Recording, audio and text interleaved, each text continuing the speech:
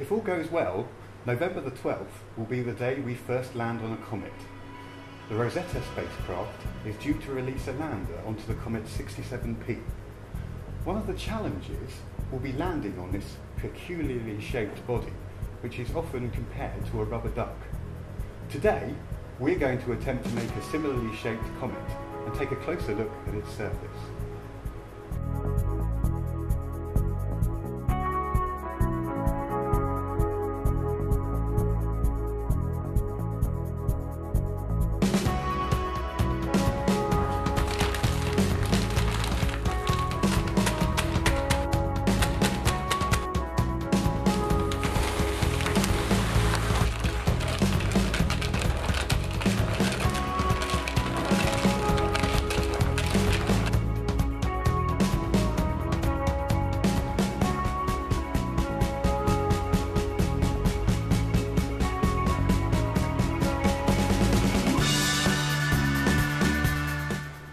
Well, our recipe appears to have made a whole multitude of comets rather than just one, but this one shows you more or less the shape of Comet 67P.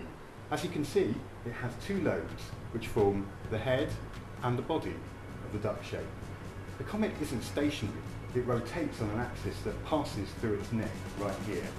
The angle of motion makes it hard to find a good landing spot. Another problem is the comet's surface. As you can see, it's not all flat. There are lots of craters and nobody knows why or how they formed. One of the goals of the mission is to find an answer.